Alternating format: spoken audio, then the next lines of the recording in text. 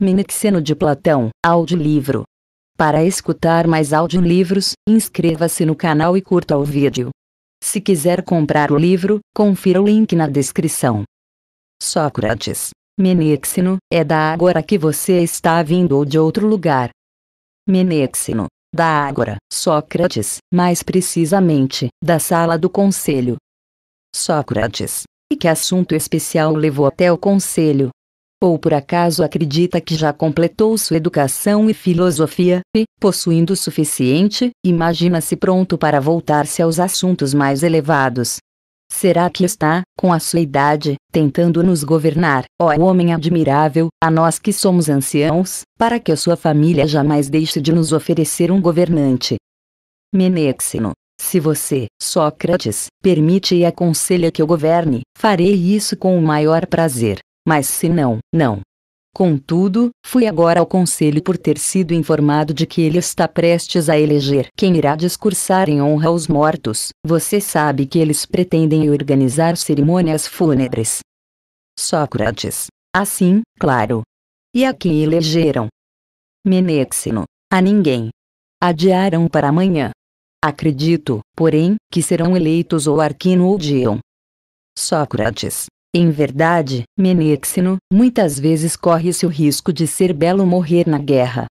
Pois, mesmo quem teve seu fim na pobreza, recebe bela e magnífica sepultura, e recebe louvores dos homens sábios, mesmo sendo insignificantes, e não de qualquer um que faz elogios ao acaso, mas sim de quem leva muito tempo preparando discursos, esses homens louvam tão belamente que, ao dizer o que cabe ou não a cada um, ornando com as mais belas palavras, enfeitiçam as nossas almas, enaltecem a cidade de todas as maneiras, elogiam os que morreram na guerra, todos os nossos antepassados e também a nós mesmos, que ainda estamos vivos, de um jeito que eu mesmo, Menexeno, fico me sentindo muitíssimo nobre sendo louvado por eles.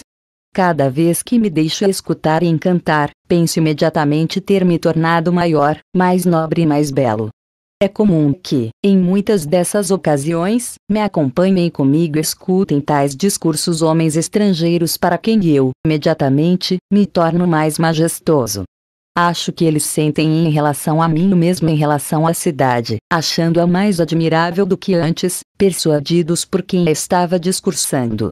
Na verdade, em mim, essa veneração permanece por mais de três dias. E de tal modo ressoante a prosápia e a prosódia adorador penetra em meus ouvidos que, penosamente, no quarto ou quinto dia, eu me relembro de quem realmente sou e percebo em que lugar da terra estou. Até então, faltava pouco para pensar que estava morando na ilha dos bem-aventurados, a tal ponto são safos os nossos oradores. Menexeno, Puxa, Sócrates, você sempre zombando dos oradores. Mas eu acredito que dessa vez o escolhido não terá muito sucesso.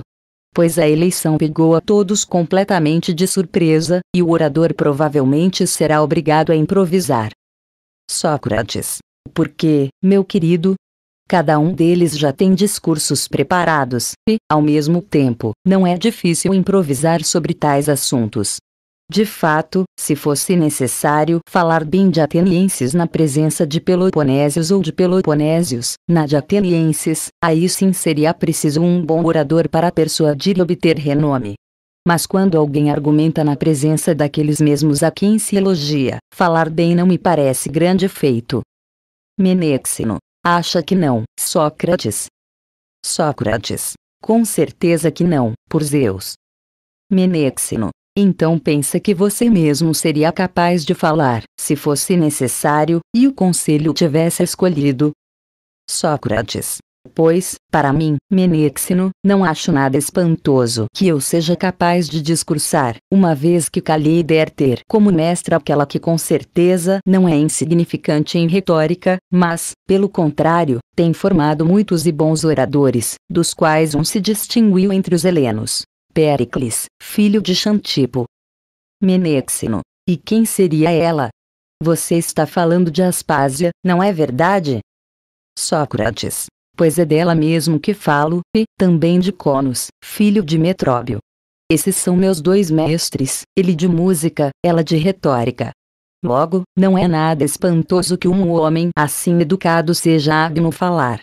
Mas mesmo quem foi educado de um jeito inferior ao meu, tenha sido ele educado em música por Lampro ou em retórica por Antifonte de Ramnunte, esse também seria capaz de ser honrado louvando atenienses para atenienses.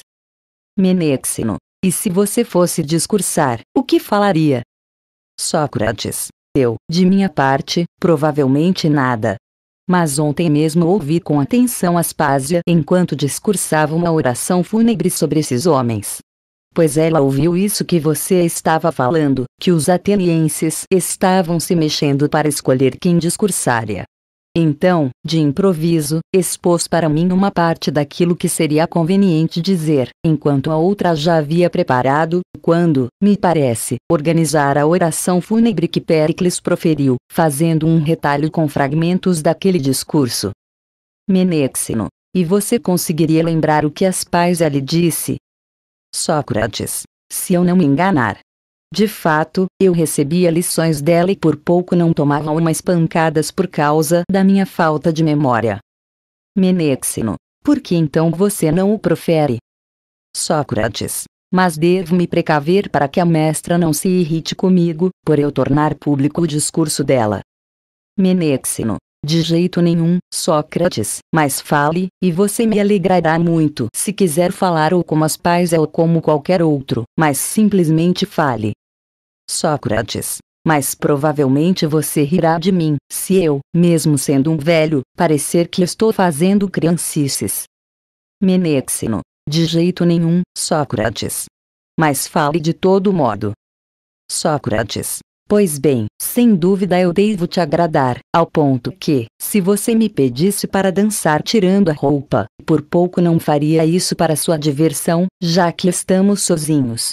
Mas então ouça, pois ela, como penso, falava começando o discurso a respeito dos mortos da seguinte maneira: Quanto às ações, estes homens, pela sorte que lhes coube, recebem de nós aquilo que é conveniente e marcham pelo caminho fixado pelo destino, escoltados publicamente em cortejo fúnebre pelos cidadãos e, privadamente, pelos familiares.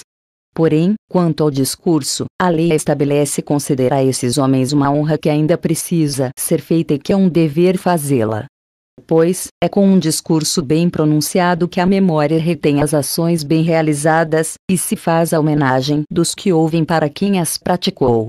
É preciso um tal discurso capaz de louvar devidamente os que morreram, porém também capaz de exortar amavelmente os que estão vivos, encorajando aos descendentes irmãos a imitar a virtude deles, e confortando os pais, mães e quaisquer antepassados que ainda estejam vivos, mas que discurso se revelaria com tal forma para nós? E de que ponto poderíamos começar com equidade a louvar esses valorosos homens, eles que, enquanto vivos, encantavam os seus por causa da virtude e deram a vida em troca da salvação dos sobreviventes? Parece-me natural que, por terem se tornado homens valorosos, assim eles devam ser elogiados. E tornaram-se bons por terem nascido de homens bons. Por isso, primeiramente, começaremos a celebrar a origem nobre desses homens, e em seguida a sua criação e educação. Depois disso, ilustraremos quão belos e dignos eles mostraram ser os resultados de suas ações.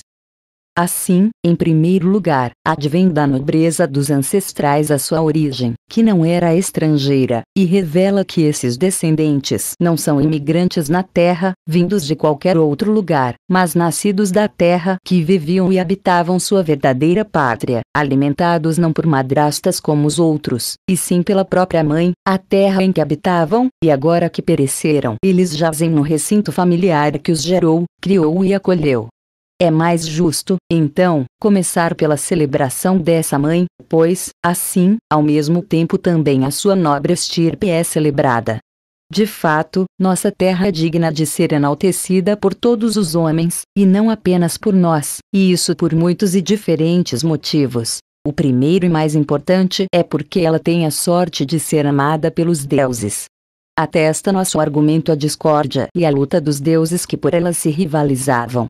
Se os deuses louvaram esta terra, como então não seria justo ela ser louvada por todos os homens em uníssono? Em segundo lugar, seria justo louvá-la, porque naquele tempo em que toda a terra produzia e gerava toda a sorte de animais, ferozes e domesticáveis, nesse tempo, nossa terra exibia-se estéril e purificada de feras e animais selvagens. Dentre os animais, escolheu para si gerou o homem, aquele que supera todos os outros em entendimento e o único que honra os deuses e a justiça. E para este argumento há uma grande prova, a de que nossa terra gerou os ancestrais nossos e os destes homens.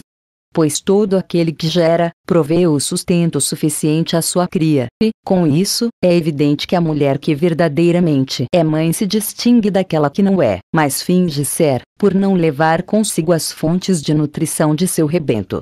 Nossa terra e, ao mesmo tempo, mãe fornece uma prova irrefutável de que concebeu os homens. Ela foi a primeira e a única, naquele tempo, a fornecer como alimento à humanidade o fruto do trigo e da cevada, com a qual a raça humana se alimenta da melhor e mais bela maneira, uma vez que ela mesma concebeu esse animal.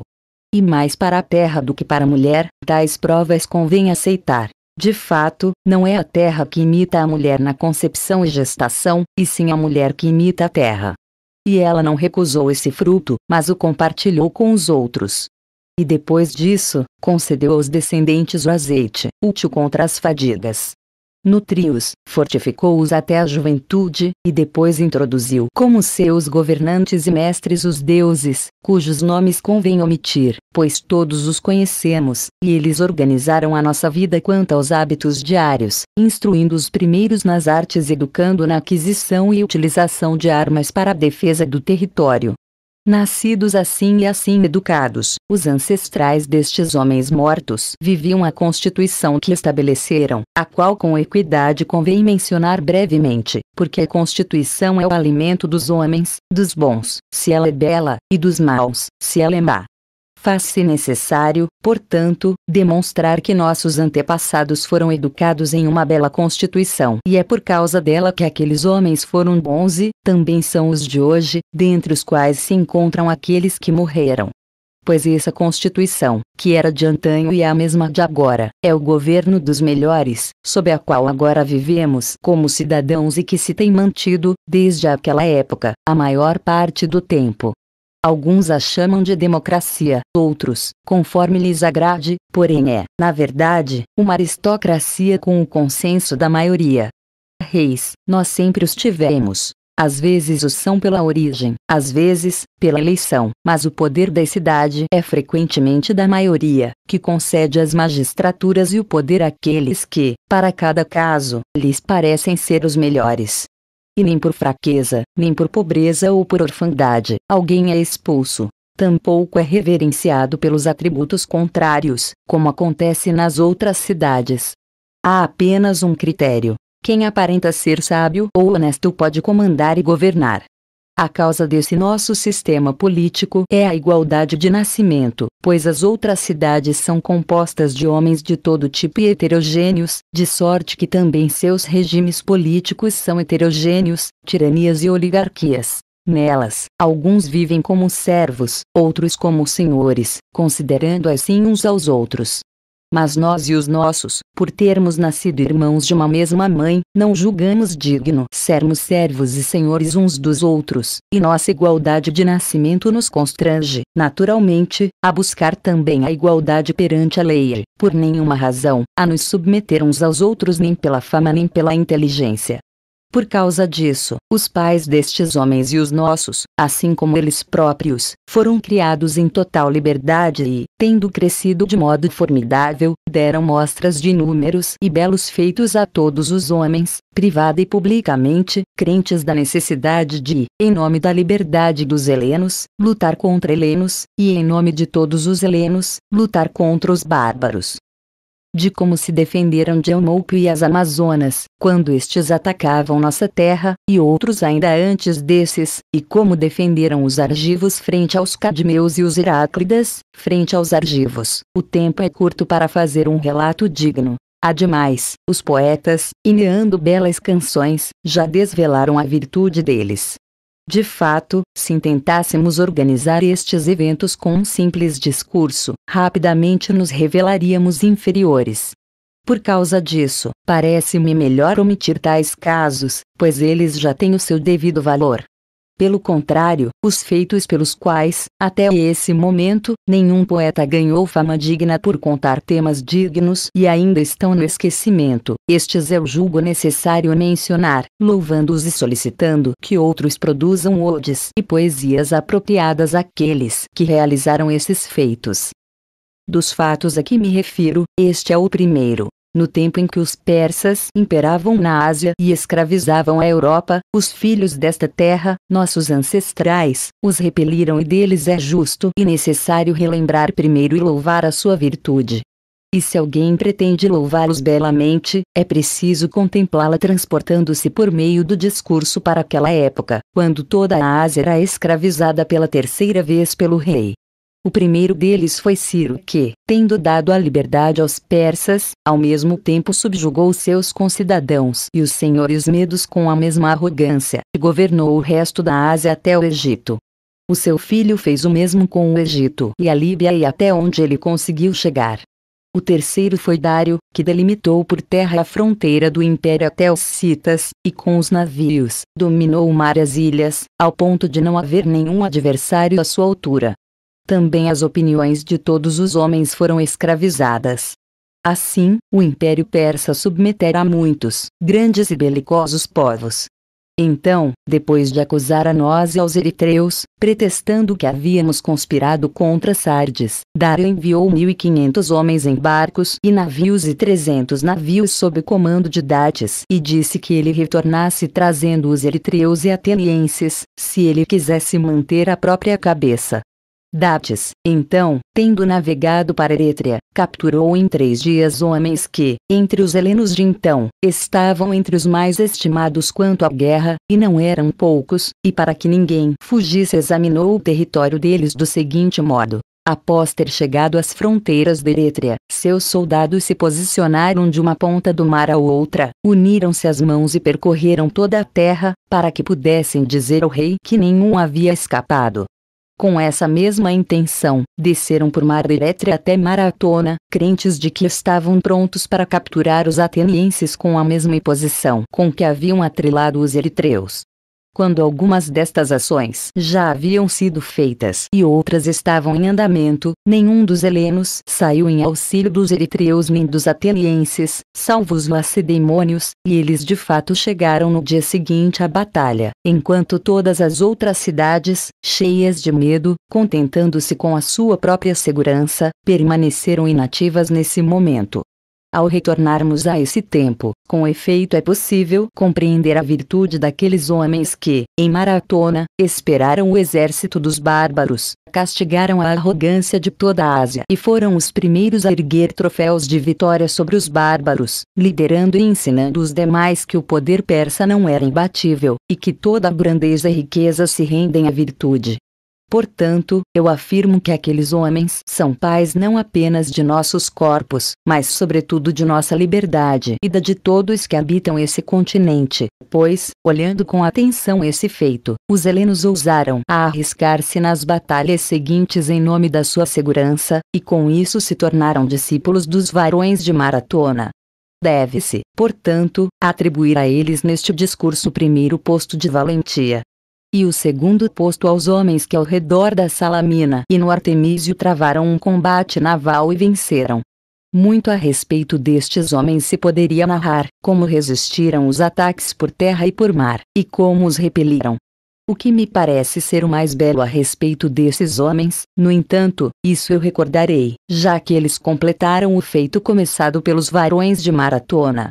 De fato, estes mostraram aos helenos somente que por terra eles eram capazes de se defender de muitos bárbaros com poucos homens, porém, com as naus, ainda era desconhecido o resultado e os persas tinham a fama de serem invencíveis por mar, tanto pela quantidade e riqueza da frota, quanto pela técnica e força. Logo, é digno louvar isso acerca dos homens que, outrora, travaram a batalha naval, pois puseram fim ao medo dos helenos e acabaram com o temor que tinham de numerosos navios e homens. Por ambos, os que combateram em Maratona e os que por mar guerrearam em Salamina, os demais helenos foram educados, Por eles, aprenderam e se habituaram a não temer nem por terra nem por mar os bárbaros. Para o terceiro posto, falo, tanto por ordem cronológica quanto por virtude, da ação em plateia em favor da salvação da Hélade, já desta vez unidos lacedemônios e atenienses. Eles todos repeliram a maior e mais difícil ameaça e, por causa da virtude, eles são agora enaltecidos por nós e também o serão no futuro pelos nossos descendentes. Porém, mesmo depois disso, muitas cidades helenas ainda estavam ao lado dos bárbaros e o próprio rei anunciava o plano de novamente atacar os helenos. Por isso, é necessário que também por nós sejam lembrados aqueles que concluíram os feitos de seus antecessores em favor da completa salvação, limpando e banindo todos os bárbaros do mar.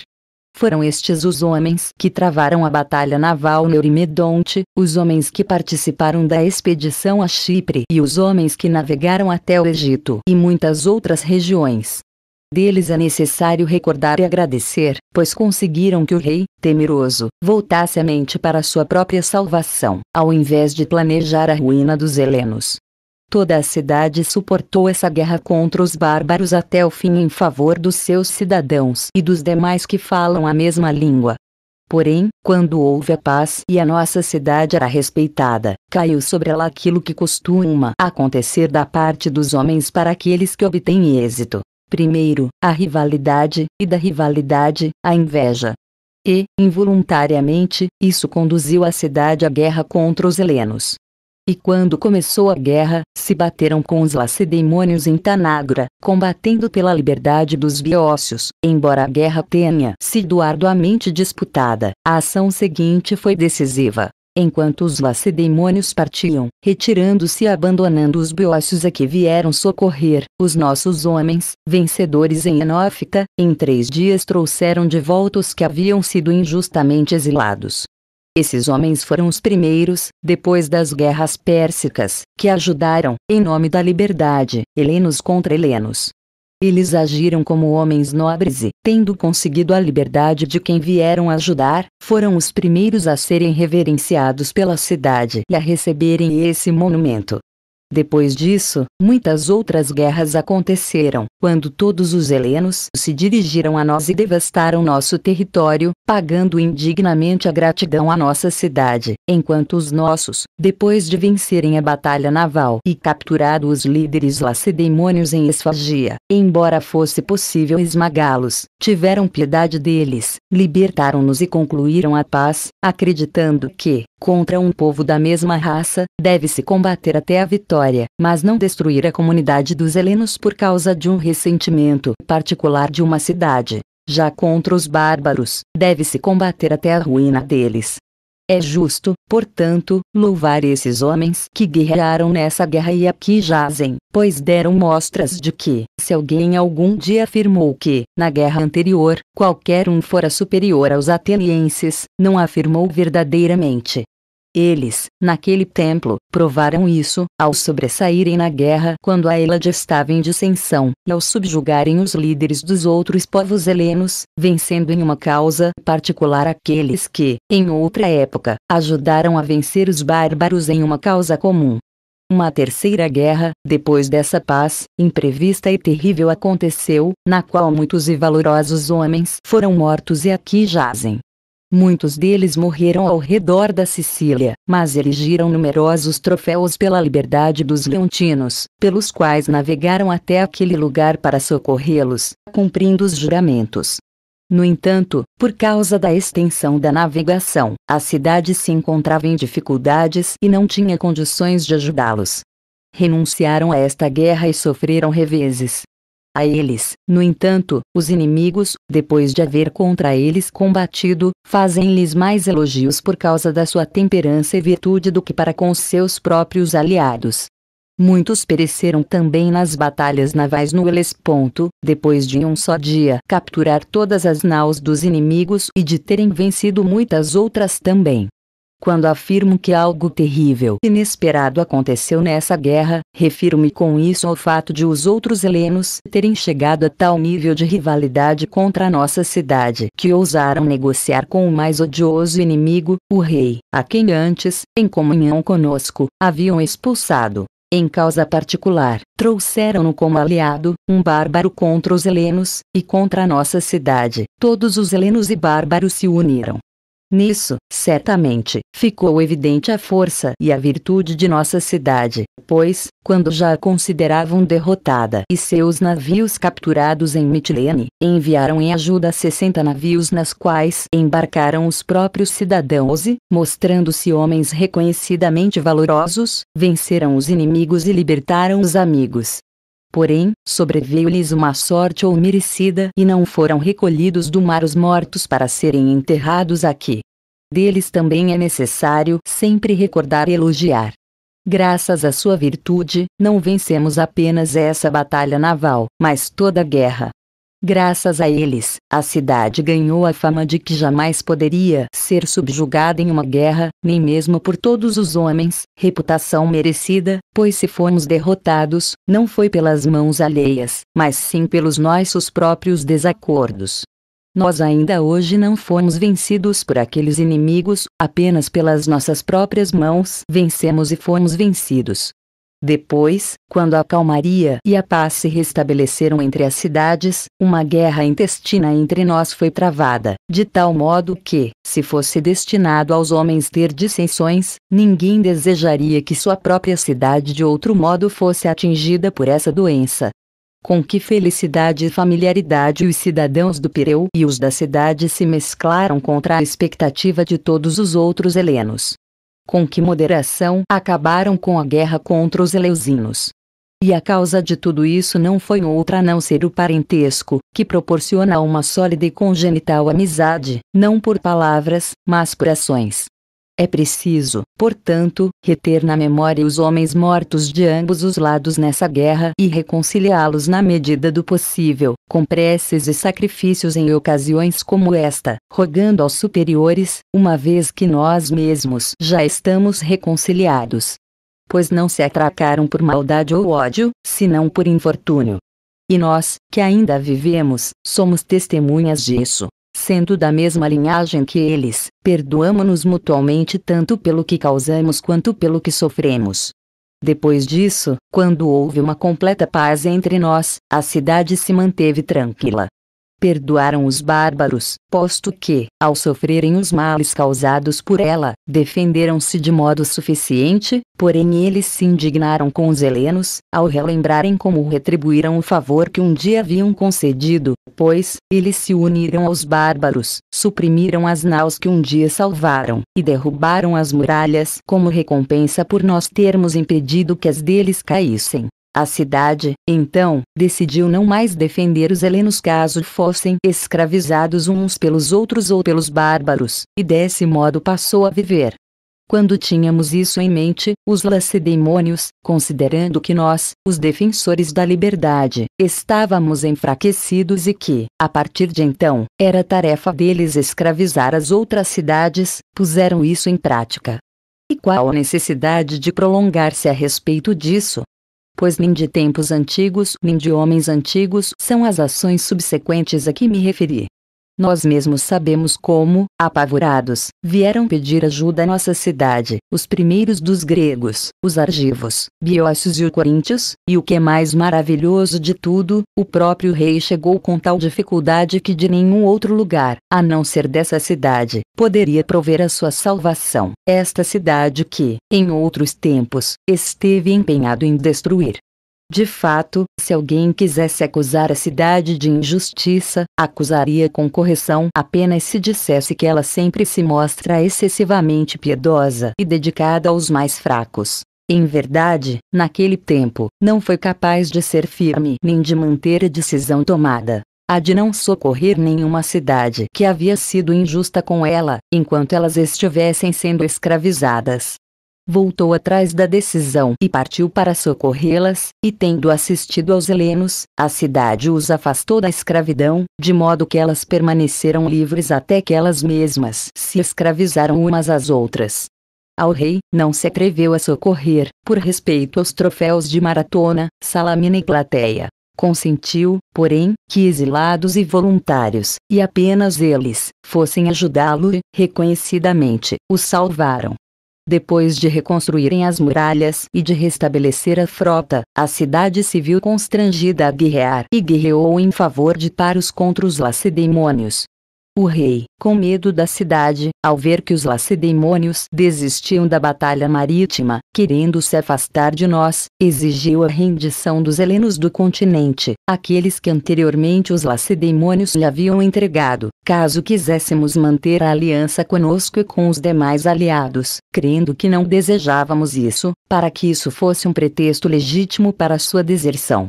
Mas enganou-se quanto aos outros aliados, quiseram entregá-los coríntios, argivos, biócios e os demais aliados. Aceitaram, juraram entregar-lhe os helenos do continente, se ele estivesse disposto a conceder-lhes dinheiro. Nós fomos os únicos a recusar a jurar e a entregar as cidades helenas. Assim, é sólida e sadia a nobreza e a liberdade de nossa cidade, por natureza hostil aos bárbaros, porque somos helenos genuínos e não mesclados com bárbaros. Não vivem conosco os filhos de Pelps, nem os de Cadmo, nem egípcios nem dânaos, nem tantos outros que, embora helenos por lei, são bárbaros por natureza, mas vivemos com nós mesmos, helenos, e não semi-bárbaros, de onde nasce na cidade um puro ódio à natureza estrangeira. Todavia, mais uma vez ficamos isolados porque não queríamos praticar a vergonhosa intenção de entregar helenos aos bárbaros. Chegados, pois, à mesma situação em que antes havíamos sido derrotados, com o auxílio do Deus, aceitamos a guerra. Com as naus, a muralha em nossas próprias colônias, empreendemos a guerra com satisfação, assim como os inimigos. Sem dúvida, fomos privados de homens valorosos nessa guerra, homens que em Corinto sofreram com um terreno irregular em Lequeu, com atração, também foram valorosos aqueles que libertaram o rei e expulsaram do mar os lacedemônios. De tais homens eu vos farei recordar a vós, juntos, convém louvar e celebrar. Assim, dos homens que aqui jazem e de outros que pela cidade pereceram, são muitos e belos os feitos que já foram expostos, porém são ainda mais numerosos e belos aqueles que ainda faltam enumerar. Muitos dias e noites não seriam suficientes para quem se dispusesse a elogiar todos eles. É preciso que, ao trazê-los na memória, todos os homens exortem seus descendentes, tal qual acontece na guerra, a não abandonarem os postos de seus antepassados, nem a fugir como covardes. Eu mesmo, o filhos de homens valorosos, vos exorto, agora e no futuro, aonde quer que eu cale de vos encontrar, também lembrarei e vos exortarei a se esforçar a serem o mais valorosos possível. Nesta ocasião, é justo mencionar aquilo que os pais nos encarregaram de transmitir aos sobreviventes, caso algo acontecesse quando se preparavam para afrontar os perigos da guerra. Direi-vos aquilo que deles próprios escutei e aquilo que diriam com prazer se tivessem o poder de fazê-lo, tomando como testemunho o que anteriormente disseram. Mas é necessário que vos considereis, como se deles próprios ouvisseis, a mensagem. Pois eles assim disseram. Filhos, que sois filhos de nobres pais e essa ocasião deixa manifesto, Pois, uma vez que é possível viver com desonra, preferimos antes cumprir as ações com nobreza do que lançar a vos e a vossos sucessores a injúria, do que envergonhar nossos pais e toda a linhagem que os precedeu, julgando que é indigna a vida de quem envergonha os seus. Para este tipo de homem não há nenhum amigo dentre os homens, nem dentre os deuses, nem sobre nem sob a terra, depois de ter perecido. E, portanto, necessário recordar as nossas palavras, e qualquer que seja a atividade a praticar, que se pratique com virtude, sabendo que, quando ela é abandonada, todas as riquezas e atividades são vergonhosas e vis, já que nem a riqueza produz beleza a quem a adquiriu sem humildade, pois ele é rico para os outros, não para si mesmo, nem a beleza do corpo nem a força, quando unidas a covardia e a vileza, se mostram apropriadas, mas inapropriadas, pois põem em evidência quem as possui, e revelam claramente a sua covardia. Todo conhecimento, se apartado da justiça e de outras virtudes, não é sabedoria, mas fraude. Por causa disso, em primeiro e em último lugar, a todo tempo e de todos os modos, empenhai-vos a agir com zelo para que, principalmente, venhais a superar a nós e a nossos ancestrais em glória. Caso contrário, sabeis que, se em virtude nós sobressairmos a vós, a nossa vitória nos trará vergonha, e a nossa derrota, se formos vencidos, nos trará felicidade. Sobretudo, seremos vencidos e vos vencedores, se vos vos dispusereis a não fazer mau uso da glória dos antepassados e a destruí-la, cientes de que para o homem que busca ter alguma valia, nada é mais vergonhoso que permitir ser louvado não pela sua própria fama, mas pela dos seus antepassados passados. As honras ancestrais são para os descendentes um belo e magnífico tesouro. No entanto, servir-se de um tesouro feito de riquezas e honras e não os legar aos descendentes, por falta de bens e reputação próprias, é vergonhoso e indigno de um homem. Se praticardes tais conselhos, vireis a nós como amigos à casa de amigos, quando a sorte que lhes cabe vos trouxer. Porém, se fordes negligentes e covardes, ninguém vos acolherá com benevolência. As crianças dizei tais coisas. Aos nossos pais e mães ainda vivos, sempre se deve encorajar a suportar da melhor maneira possível o infortúnio, se este por acaso lhes ocorrer, e a não lamentar, pois não terão necessidade de mais lamentação, já que o infortúnio acontecido fornecerá suficiente pesar, mas acalmando-os e tranquilizando-os, devemos recordar-los que os deuses escutaram e realizaram as suas principais súplicas, porque não lhes suplicavam ter filhos imortais, mas sim filhos nobres e valentes, e esses bens que são os maiores, obtiveram. E não é fácil para um homem mortal que todas as coisas resultem em sua vida segundo seu desejo suportando com coragem os infortúnios, pareceram que são pais de filhos corajosos e que eles mesmos também os são.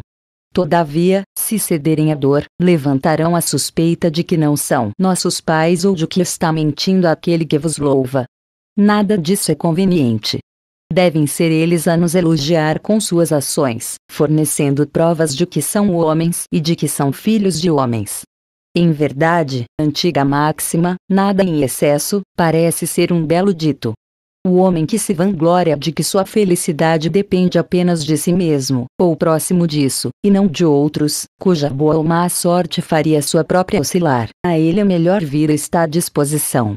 Esse é o homem moderado, esse é o homem corajoso e sensato. Esse homem, quando lhe chegam riquezas e filhos, e quando ele os perder, confiará ainda mais no provérbio: pois, nem alegre nem demasiado triste ele se revelará, porque confia em si mesmo, e tais homens exigimos que sejam os nossos, desejamos e rogamos, e assim nós mesmos nos apresentamos hoje, nem indignados nem temerosos em excesso, se tivermos de morrer neste momento. Rogamos, então, a nossos pais e mães que se utilizem desse pensamento para conduzir o restante de suas vidas, e saber que, sobretudo, não nos agradarão nem as lamentações nem os gemidos, e se os mortos têm alguma percepção dos vivos, seriam imensamente desagradáveis a nós se estiverdes aflitos e suportando os infortúnios com dificuldade. Porém, com leveza e moderação, assim nos agradariam.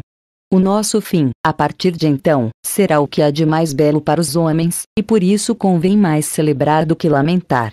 Quanto às nossas mulheres e filhos, cuidando deles, alimentando-os, e direcionando isso às suas mentes, mais facilmente será esquecido nosso infortúnio, e viverão da maneira mais bela e correta, e mais agradável para nós. Para nós, é suficiente transmitir isso aos nossos a cidade, recomendemos que ela cuide de nossos pais e jovens. Estes, educando convenientemente. Aqueles, amparando dignamente na velhice. Porém, já sabemos que mesmo que nós não a exortemos, ela cuidará deles suficientemente estas palavras, o filhos e genitores dos mortos, eles me encarregaram de vos transmitir, e eu, com o maior zelo de que sou capaz, as transmito. De minha parte, rogo aos filhos, em nome deles, que os imiteis, e aos progenitores, que sejais confiantes, pois, privada ou publicamente, vos acolheremos e cuidaremos na velhice, sempre que a cada um de nós vos encontramos.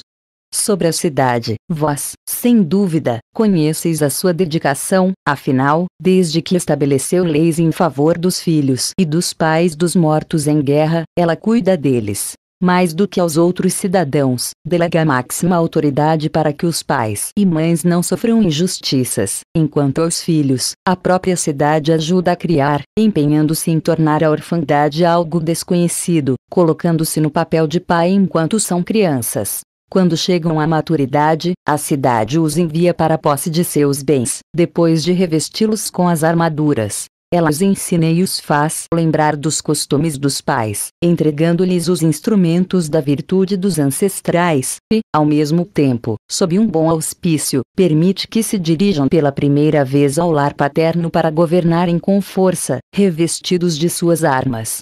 E ela jamais deixa de honrar aqueles que morreram, e a cada ano ela mesma realiza publicamente cerimônias que é costume celebrar-se privadamente, Além disso, estabelece concursos atléticos, hípicos e musicais de todos os tipos, e ela, naturalmente, coloca-se na posição de herdeira e filha dos que morreram. Diante dos filhos, o lugar do pai. Diante dos pais, o lugar de tutor, cuidando com diligência de todos em todo e qualquer momento. Considerando, pois, estas reflexões, é necessário suportar o infortúnio com mais tranquilidade, Assim sereis mais queridos tanto para os mortos quanto para os vivos, livres para cuidar e receber cuidados. E agora, vos e todos os demais, tendo já lamentado os mortos publicamente conforme a lei, retirai-vos. Esse foi, Menexino, o discurso de Aspais e de Mileto. Menexino. Por Zeus, Sócrates, bem-aventurada é, segundo você diz, Aspais SL é capaz de, sendo mulher, compor discursos como esse. Sócrates. Mas se você não acredita, venha comigo para escutar ela discursando pessoalmente. Menexino. Muitas vezes, Sócrates, eu já me encontrei com ela por acaso e sei muito bem como ela é. Sócrates. E então? Não está admirado com ela e não está agradecido hoje pelo seu discurso. Menexino. Muitíssimo agradecido, Sócrates, a ela ou a qualquer outro que tenha proferido esse discurso para você. E, além disso, sou ainda mais grato àquele que o pronunciou para mim. Sócrates. Eu também estaria. Mas, olhe lá, de jeito nenhum me denuncie, para que no futuro eu possa transmitir muitos e belos discursos políticos dela. Menexino. Fique tranquilo, não te denunciarei. Somente os transmita. Sócrates. Assim será. Assim será. Assim será. Assim será. Assim será.